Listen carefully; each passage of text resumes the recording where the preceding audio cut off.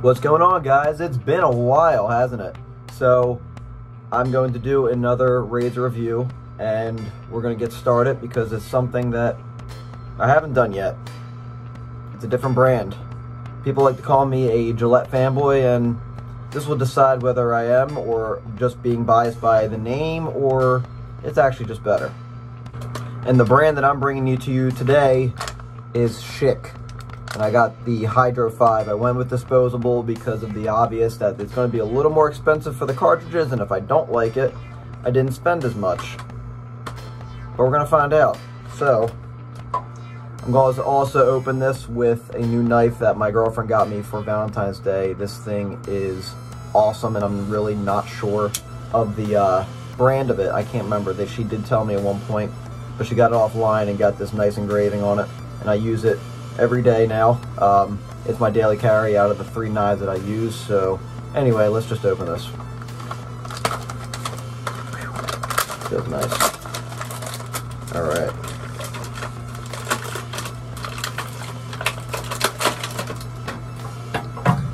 All right, so let's get a look, good look at this thing real quick. This is the Schick Hydro 5. That is definitely upside down.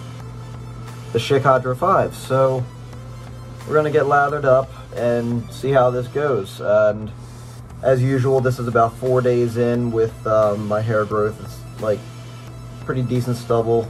It's a little past the sandpaper stage, and that's when it's a little softer to be able to get through the hair and not cut myself. So we'll see if that actually happens or not, because it's not Gillette. The ironic part, I'm using Gillette shaving cream or shaving gel a little ironic and contradicting. Still backs up the statement that I think I'm a fanboy of Gillette. Alright, now that we are all lathered up here, you know the deal. We're going to test out the, for the first time, the Schick Hydro 5. I'm typically a three blade person, but that's what a review is for, right? So, I apologize for leaving the water on. Some of you might be screaming through the screen at me about leaving it on. Sorry. It's like white noise, I kind of need it.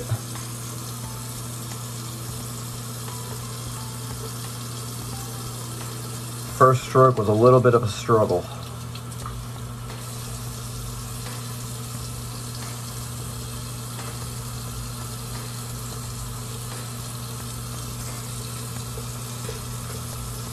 but wholly smooth so far, so far. If you've listened to me say this before, the front and top of the head is never the test for me. Ever. always the back and sides. And if anyone else here shaves their head, they might or might not experience the same problem as me. I'm much more sensitive in the back and the sides of the head. Not really sure why.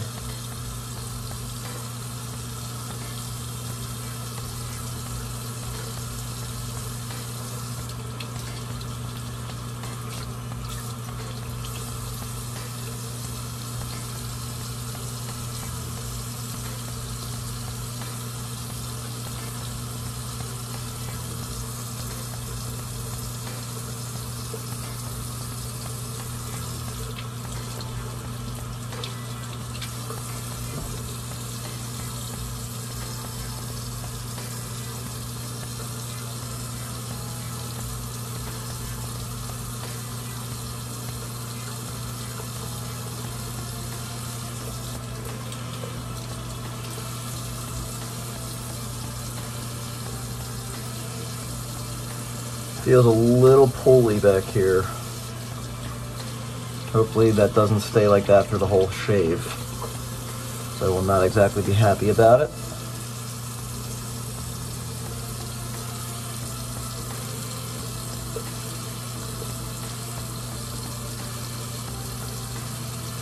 Yeah, I definitely can't go as fast as I would like to. Especially with a razor I'm not used to yet.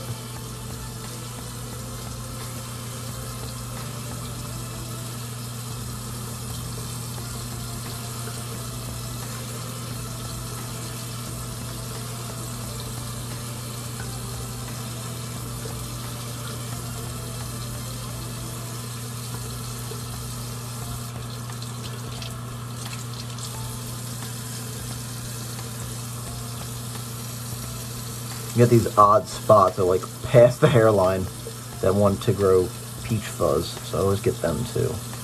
All right, time to go to the back. Wish me luck.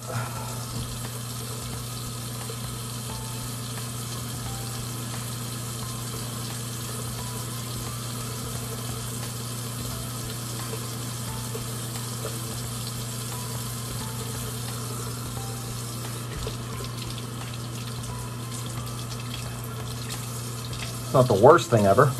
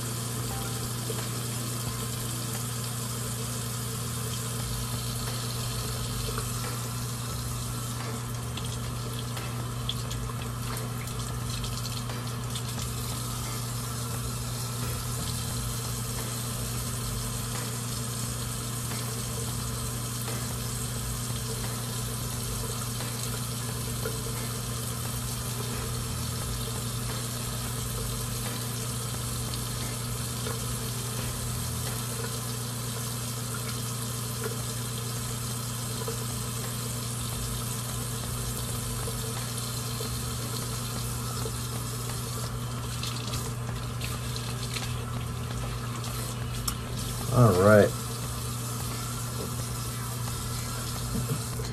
So I'm gonna get this all rinsed off. Those are the parts that people don't exactly want to watch. Not that I feel like doing it. I wish I could just be like, and be done.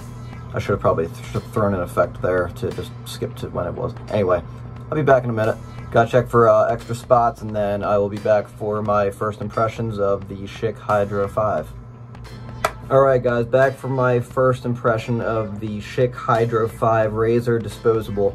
Um, it feels incredibly, incredibly smooth, but it's not like I got there with ease. It felt like it was kind of a fight. Um, typically I get these little dry spots on the back of my scalp, and um, it'll, you know, do that when I'm, um, I'm shaving or whatever, and it'll kind of feel like it's kind of ripping the skin. But I usually wait for them to go away and I can take a nice shower and, you know, a couple days will go by and they go away. And today they were gone and um, it still feels like they were there with how the shave was. And I could feel stinging all over my head. Um, again, nonetheless, a incredibly smooth shave, but not without a fight. So anyway, I'm gonna lather up here while I talk with uh, Aloe Vesta. This stuff is actually pretty darn good. I got this from um, a hospital because I work at a hospital. So anyway, this stuff is pretty good for um, a moisturizer.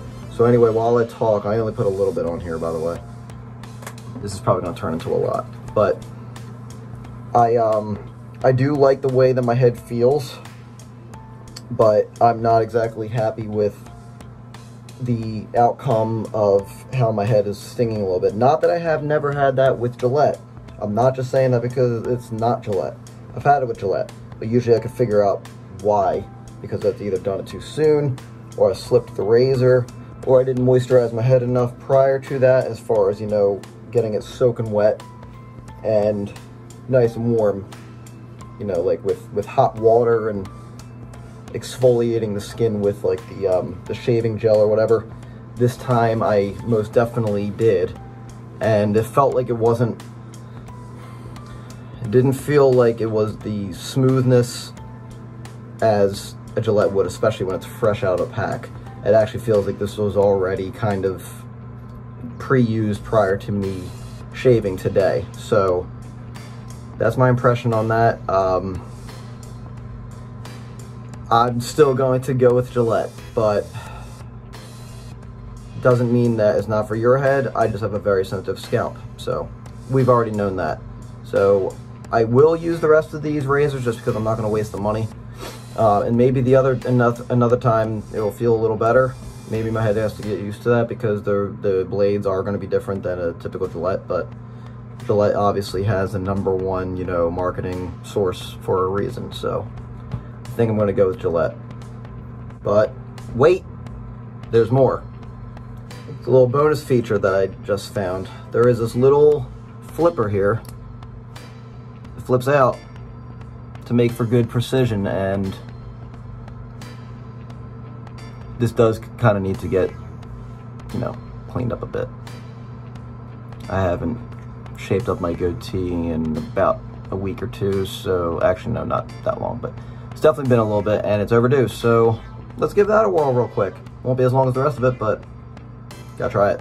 All right, so I'm a little weird when I do my goatee. I actually will do this dry first, a little around there, just a little bit of a space so that I can actually see past any shaving cream prior to me putting it on. So I'm gonna do that first with this little trimming device.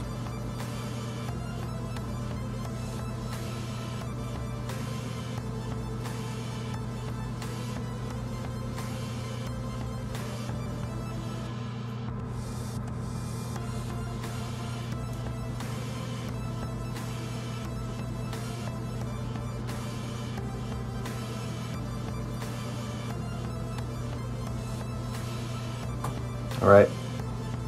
I'm gonna get the rest of my face lathered up real quick. Be right back. All right, we're gonna put this back. There we go. We're gonna get started.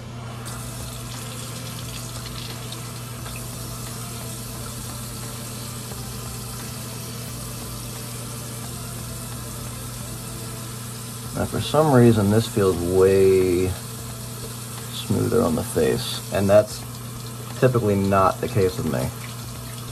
Usually my face is very sensitive.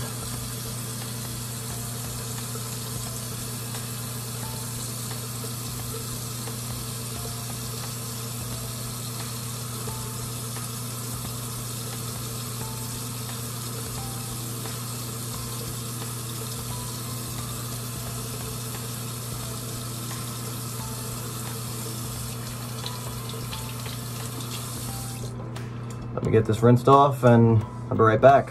All right, guys, back for my final impression of the Schick Hydro 5. So it did a good job with the trim. But then again, I'm precise. But I jinxed myself. Kind of rough on the neck. So overall impression, that gives me one, one impression.